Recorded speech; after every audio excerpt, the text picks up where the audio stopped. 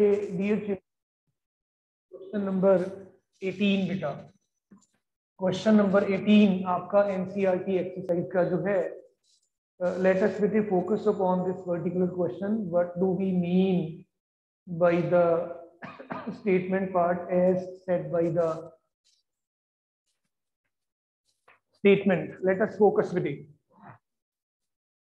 in each of the following figures, a force f acting on an object of mass small m. आपको बेटे दो तीन diagrams दिए गए हैं। Let me draw these diagrams एक आपको दिया गया है क्यूबॉइड इस फॉर्म में। आप ड्रॉ कर सकते हैं। एपी एपीयूपील की आपको ड्रॉ भी करना है diagram in this manner mass M है इसका। इसको फिगर को ए लिखा गया है। यहाँ पे एक फोर्स एफ़ इस तरफ़ और डिस्प्लेसमेंट जो है ये इस तरफ़ आपको दिया गया है। सेकंड केस में आपके पास यही क्यूबॉइड है इन दिस मैनर और आपको ये क्यूबॉइड जो है, इस पे मास इसका अगेन एम दिया हुआ है। Applied force is in this direction and the displacement is in this direction. This is B part. C part में आपको जो डायग्राम बच्चों दिया गया है this is something like this एक आपको dear children cuboid again provided है. और आपको एक बताया गया है कि फोर्स एफ़ इस तरफ़ है. This is C part and displacement इस तरफ़ है। और फोर्स इस तरफ़ है बेटा। ये आपको बच्चों पैरामीटर्स दिए गए हैं। आपको अब पूछा क्या गया है? Let's let's with see that what the examiner ask from our side related to these questions the direction of the displacement is from west to east, as shown in the diagram. And uh, observe the diagrams carefully and the state whether the work done by the force is negative positive or zero तीनों cases में आपको बताना है कि work done जो है ये positive है या नेगेटिव है या ज़ीरो है जब हम बेटे ये ए वाले पार्ट की बात करते हैं तो you can well view that over here this angle this is 90 degree ये ये वाला जो एंगल है इट्स 90 डिग्री और वर्क डन डब्ल्यू जो आ जाएगा F S cos 90 because cos 90 zero होता है, इस केस में वर्क डन ऑटोमेटिकली बच्चों ज़ीरो आ जाएगा, पहली सिचुएशन में। सेकंड केस में जिस डायरेक्शन में फोर्स है डिस्प्लेसमेंट उसी डायरेक्शन में है थीटा जो है this is equal to zero degree work done will be F S cos zero cos zero बेटे प्लस वन के बराबर होता है। दिस इज़ एफ़ एस या आप कह लीजिए कि work done in this case is बेटे पॉजिटिव मैक्सिमम वर्क इस केस में होगा। तीसरा केस है। फोर्स इधर है डिस्प्लेसमेंट उधर है। तो एंगल डायरेक्टली 180 डिग्री विजिबल है दोनों में।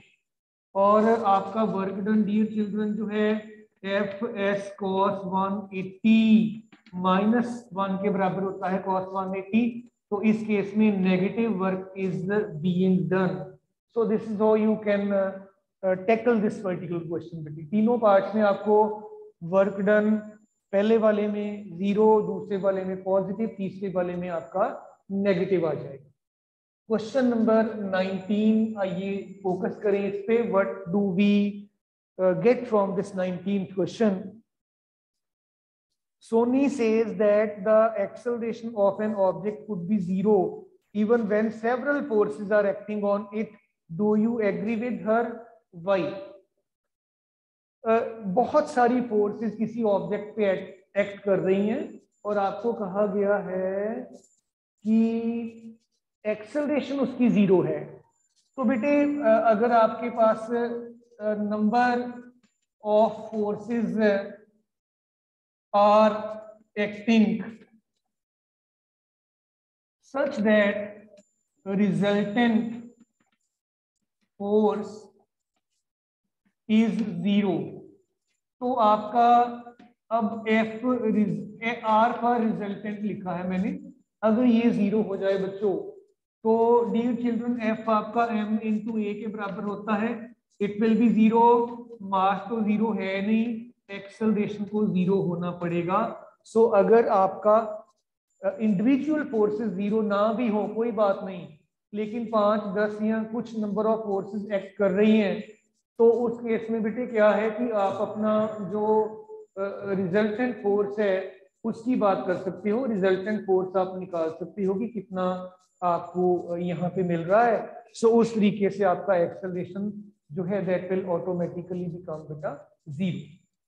Problem number twenty question number twenty let us focus upon this question twenty question में आपको बच्चों कहा गया है let us read out the statement part first that what do we mean by this question Find the energy in kilowatt hour consumed in 10 hours by the four devices of power 500 watt each.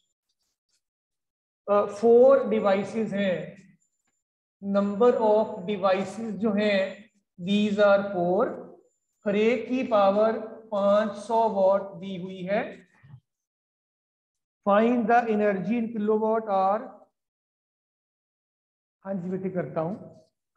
Find the energy in kilowatt hour consumed in ten hours by the four device of 500 hundred watt each time ten hours का दिया हुआ है। Ten hours में चार devices पाँच पाँच सौ what की कितनी एनर्जी कंज्यूम करेंगे, ये आपको निकालने के लिए कहा गया है। क्वेश्चन नंबर 19 बच्चों ने बोला है। एक बार मैं रिपीट कर रहा हूँ। किसी ऑब्जेक्ट के ऊपर a number of forces act कर रही हैं तो क्या ये पॉसिबिलिटी है कि उसकी रिजल्टेंट एक्सलेशन जो है वो ज़ीरो हो? यस ये पॉसिबिलिटी है।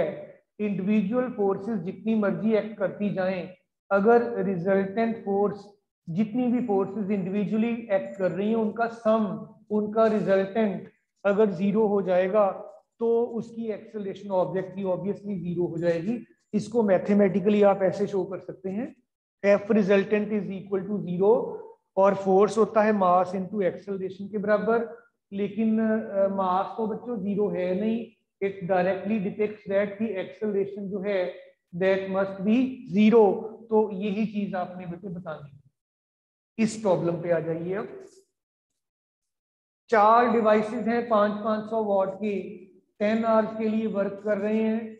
You are to calculate the energy consumed बेटे एनर्जी कंज्यूम्ड जब भी आप निकालते हो is always uh, uh, preferred to be calculated in kilowatt hours beta energy आपकी पावर इनटू टाइम टेकन के बराबर होती है। Energy will be equal to power 500 watt है। इसके मैंने किलोवाट्स बना लिए। टाइम 10 आवर्स है। और बच्चों नंबर ऑफ़ डिवाइसेस भी काउंट करने हैं। फोर है। तो ये चीज़ आपके पास बन जाएगी। एक, दो, तीन। एक, दो, तीन। तो एनर्जी कंज्यूम्ड आ जाएगी ट्वेंटी किलो वॉट आर या एनर्जी कंज्यूम्ड आ जाएगी। ट्वेंटी यूनिट्स भी आप कह सकते हो। इतनी एनर्जी की बच्चों कंजम्पशन जो है, ये आपके इस नंबर ऑफ़ डिवाइसेस ने की है टेन आवर्स में। सो डियर चिल्ड्रन अगर सारे बच्चों को क्लियर है तो एक बार बता दीजिए आई शुड मूव अहेड और some repetition is needed all of you बेटा, सारा क्लियर है? सारे स्टूडेंट्स को, धीरेन। ठीक है जी, ठीक है। ओके बेटा गुड देन चलिए नेक्स्ट प्रॉब्लम पे फोकस करें। नेक्स्ट क्वेश्चन देखें। क्या है? क्वेश्चन नंबर ट्वेंटी के बाद let me rub this word then I will be coming to the next problem next question आइए देखें बेटे क्वेश्चन नंबर हमारे पास है twenty one yes question number twenty one का स्टेटमेंट पार्ट पढ़ रहा हूँ, ध्यान से सुनिएगा all of you a freely falling object eventually stops on reaching the ground what happens to its kinetic energy? Chalk का पीस है इसको ड्रॉप कर दिया ये ग्राउंड पे गिरेगा. Imagine this to be ground ground पे जब ये टच कर जाता है, इसकी काइनेटिक एनर्जी एकदम से ज़ीरो हो जाती है. वो काइनेटिक एनर्जी किधर गई? हमारा principle of conservation of energy कहता है energy can neither be created nor be destroyed लेकिन यहाँ पे आपकी काइनेटिक एनर्जी किधर जा रही है? We are to justify this बड़े ध्यान से सुनिएगा। द मोमेंट आपका ऑब्जेक्ट अर्थ के साथ से ट्राई करेगा, इसकी कुछ एनर्जी काइनेटिक एनर्जी में से ग्राउंड को टच करने से जस्ट पहले, इसके पास सिर्फ़ और सिर्फ़ काइनेटिक एनर्जी होगी पोटेंशियल एनर्जी करीब करीब ज़ीरो ही हो जाएगी। ग्राउंड को टच करने से जस्ट पहले इसकी काइनेटिक एनर्जी का कुछ पार्ट साउंड एनर्जी की फॉर्म में जो है that will be given out कोई चीज़ अगर ग्राउंड पे गिरे तो उसकी आवाज़ आती है तो कुछ साउंड एनर्जी की फॉर्म में एनर्जी निकल गई। दूसरी बात यहाँ पे ये है कि अगर आपका जो ग्राउंड है वो सीमेंटेड ग्राउंड नहीं है, कच्चा फ्लोर है सैंड है या डस्ट है या जैसे कच्चा फ्लोर होता ही है हमारा उस पर अगर कोई ऑब्जेक्ट गिरे तो उस उस लोकलाइज जगह पर थोड़ा सा डिफॉर्मेशन होता हो जाता है। वहाँ पे एक छोटा सा पिट सा बन जाता है कोई अगर चीज़ ज़्यादा हैवी गिरती है तो। तो we will say that some part of the kinetic energy is given out in the of sound energy. Some part is uh, just used up in deforming the ground. Or the surface of the earth. लेकिन अगर cemented floor हो तो आपका जो object है उसमें खुद में डिफॉर्मेशन हो जाएगी। वो खुद उसकी शेप में चेंज आ सकता है अगर काफ़ी आपका हैवी ऑब्जेक्ट है तो। सो इन दिस वे बेटा आप ये साथ में ज़रूर मेंशन करेंगे कि टोटल एनर्जी कहीं नहीं गई है। Principle of conservation of energy valid है वायोलेट नहीं हुआ है। uh, सिर्फ़ आपकी काइनेटिक एनर्जी साउंड एनर्जी में बदल गई है और उसका कुछ हिस्सा जो है वो डिफॉर्मेशन प्रोड्यूस करने में यूज़ हो गया है। So dear children with this हमारा जो ये वाला पार्ट uh, है एक्सरसाइज का this is with a complete किसी स्टूडेंट को कोई भी पॉइंट पूछना हो तो you are most welcome all of you बेटा एक बार देख लीजिए सारा exercise just a relook on the questions from the exercise part कोई दिक्कत वाली बात है तो ज़रूर बताइए। ऑल ऑफ़ यू बेटे। अदरवाइज़ आई होप की नहीं दिक्कत कोई आनी चाहिए। आपने काफ़ी अच्छे से काम कर रखा है ऑलरेडी तो ये मेरे पास कुछ इंपॉर्टेंट टाइप ऑफ़ क्वेश्चंस हैं। Let us discuss these questions बेटा। ये आपका एक्स्ट्रा क्वेश्चन में से आ जाएगा, आपको ये ज़रूर करना है। If the linear momentum of a body is increase by fifty percent then calculate the percentage increase in the kinetic energy numerical है if the linear momentum of a body is increased by 50 percent calculate the percentage increase in kinetic energy very interesting question एक मैं करता हूँ इसके बाद एक आप करना बेटा। आइए देखें। आप लोगों ने जब भी स्टेटमेंट को ध्यान से पढ़ना है, पहले तो ये देखिए कि कौन कौन सी चीज़ों के बारे में आपसे पूछा गया है। आपको काइनेटिक एनर्जी एंड मोमेंटम के बारे में बात की गई है। You might be knowing kinetic energy energy p square upon 2m के बराबर होता है।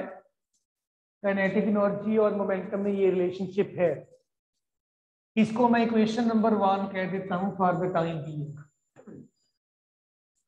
momentum is increased by 50 percent new momentum p dash में कह देता हूँ. It is initial value of momentum plus 50 percent of p. 50 percent आपने बढ़ाया था. ये आ जाएगा. P dash it will be p plus 50 upon 100 of p. एक ज़ीरो कट गया। P dash is p plus one half of p. इसको solve कर लोगे तो वन हाफ़ आ जाएगा। फर्दर मोर इसको अगर आप सॉल्व कर लोगे it will be three by two P ये नया मोमेंटम इसके बराबर आ गया। नई काइनेटिक एनर्जी निकालें। E dash it is P dash का स्केयर डिवाइडेड टू एम आएगा बच्चों। पी डैश आपने निकाल रखा है, ये देखिए। पी डैश आपने निकाला था। It is three by two times initial value of the momentum P put कर दीजिए यहाँ पे। P dash this is equal to three by two P इसका square divided by two M as such ये three by two को ध्यान से देखिए ऐसा स्केयर करके मैं अलग निकाल देता हूँ। P dash is nine by four three का स्केयर नाइन टू का square four rest of the things no change ऐसे लिख दिया मैंने। चेक करिए सारे स्टूडेंट्स यहाँ तक सबको क्लियर है? Any one having any doubt Jayati and Mithansh Nitya Parmeet very good बहुत बढ़िया। साथ साथ नोट करना है सारे बच्चों ने कॉपी पेन हाथ में रखना है, तभी ये न्यूमेरिकल्स पकड़ में आने वाले हैं। यूजिंग इक्वेशन नंबर वन ये देखिए P square by two M आपका ई e के बराबर है। तो नई kinetic energy E dash nine by four times initial value E के आ जाएगी। बच्चों, बड़े ध्यान से स्टेटमेंट को देखिएगा। उसमें आपको, उन्होंने परसेंटेज इंक्रीज काइनेटिक एनर्जी की निकालने को कहा है। उसके लिए यहाँ से मैं दो तीन शॉर्टकट स्टेप्स आपको समझाता हूँ। ध्यान से देखिएगा। इस ई e को मैं लेफ़्ट साइड पे लेके जा रहा हूँ। I will get E dash divided by E it is nine by four जब भी आप परसेंटेज चेंज की बात करते हो परसेंटेज चेंज होती है change in the quantity divided by the initial value multiplied by hundred ये फॉर्मेट बनाने के लिए इन दोनों में से मैं वन को माइनस कर रहा हूँ। We will get E dash by E minus one is nine by four minus one आइए देखें हमें। यहाँ पे फिर किस तरीके से मिल जाता है ये? E dash minus E LCM ले लेंगे यहाँ पे लेफ़्ट साइड पे। Divided by E this is nine minus four by four ये आ जाएगा। Final kinetic energy minus initial kinetic energy it is the change in the kinetic energy five by four इसको दोनों तरफ़ हंड्रेड से multiply कर दीजिए। Delta E by E into 100 5 by 4 into 100 ये percentage increase in kinetic energy और ये बन गया जी 1.25 125 परसेंट आपका जो है काइनेटिक एनर्जी बढ़ जाएगा। अगर आपका मोमेंटम कुछ इस तरीके से चेंज हो रहा है तो ये सारे स्टेप्स को ध्यान से देखो। कोई बात नहीं, पता चली तो पूछो। सारे बच्चे सारे बच्चे इसको ध्यान से देखिएगा, सारे स्टेप्स को बेटा स्टार्टिंग से लेकर एंड तक। कोई दिक्कत वाली बात है तो बताइए बेटे। ऑल ऑफ़ यू बेटा go through all the steps minutely इसके बाद फिर एक न्यूमेरिकल आप करोगे रेणुका सिंह। यस बेटा बोलिए अनम्यूटेड है आप। सर हमने हंड्रेड से मल्टीप्लाई क्यों किया? हमने? हंड्रेड से मल्टीप्लाई क्यों किया? बिकॉज़ बेटे जब भी आप परसेंटेज निकालते हो ना परसेंटेज में आपका होता है change in the quantity divided by the original quantity multiplied by hundred इसको सारे को परसेंटेज बोल देते हैं। अदरवाइज़ परसेंटेज का कोई और नहीं होता बेटा। राइट हाँ जी बेटे न्यू मोमेंटम कितने जसलीन कौर। जसलीन एक पूरा पी है उसमें आधा पी और ऐड कर दिया। 1.5 पी लिख लो या 3 बाई टू कर लो। अगर ऐसे नहीं करना तो इसका एलसीएम ले लीजिए। यू विल गेट इट बेटा। कोई दिक्कत वाली बात नहीं है।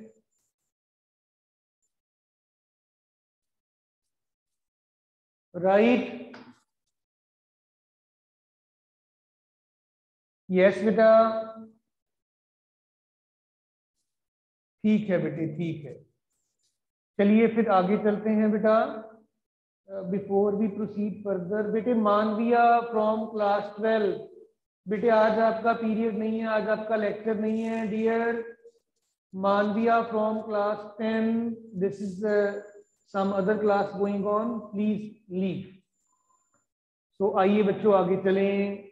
इसके बाद हमारे पास एक और प्रॉब्लम है, एक और क्वेश्चन है राधर आपके लिए क्वेश्चन है। आइए कंसंट्रेट करें, देखें, सोचें सॉल्व करें इसको। स्टेटमेंट पार्ट में लिखने जा रहा हूँ। सॉल्व आप करेंगे।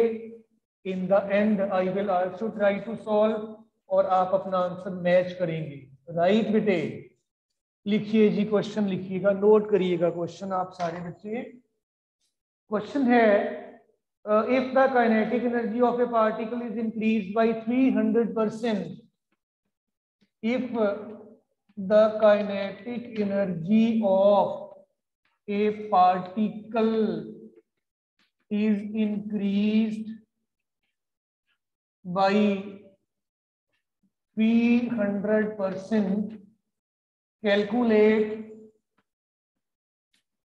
percentage increase in momentum. Momentum कितने परसेंट बढ़ जाएगा ये निकालना है। सो ऑल ऑफ़ यू बेटा, दो तीन मिनट लगाइए सॉल्व करिए। इस क्वेश्चन को मैं भी फिर बाद में सॉल्व करता हूँ, फिर आप अपना आंसर मैच करिएगा। टू मिनट्स हैं आपके पास all of you two minutes के बाद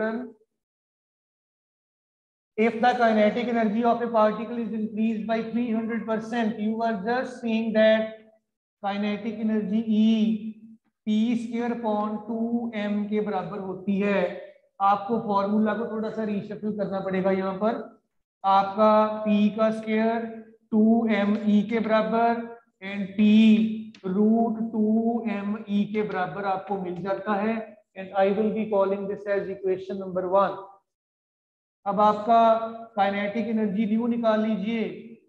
New kinetic energy it is E dash it is E plus three hundred percent of E it is equal to E plus three hundred upon hundred into E it is E plus three E it is four E आपका final kinetic energy मिल गया।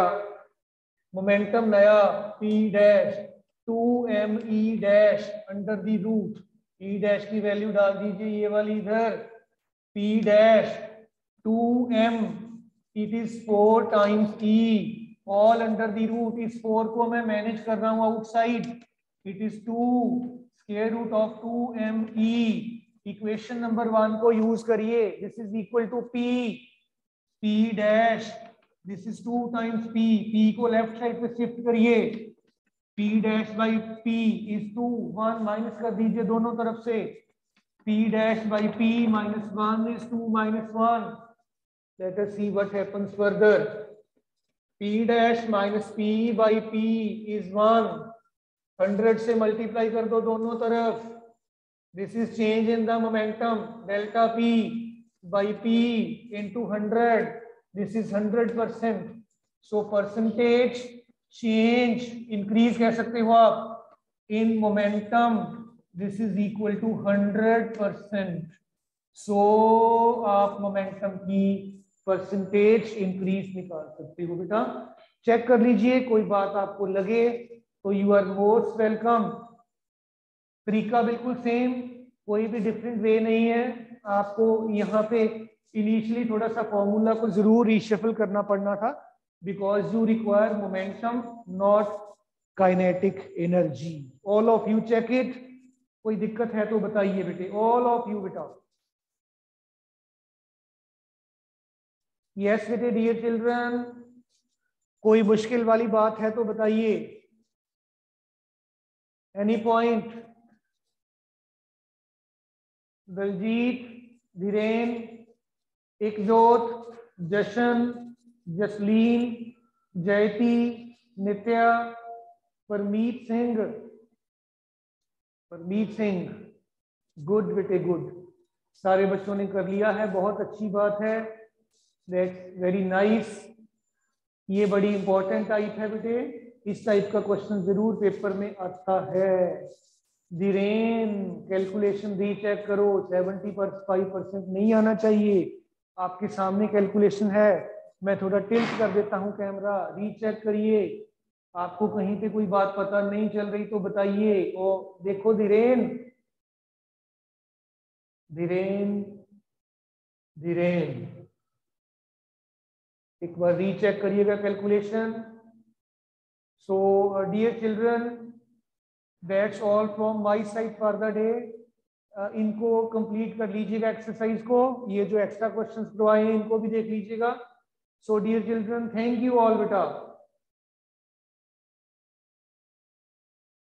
धीरेन, हो गया कि नहीं?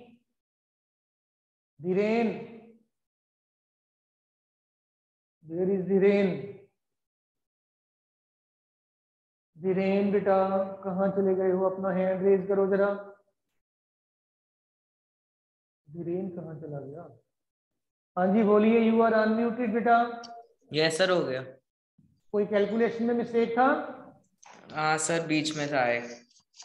ठीक है बेटे। तो बेटे मैं यहाँ पे एंड कर रहा हूँ। थैंक यू ऑल बेटे।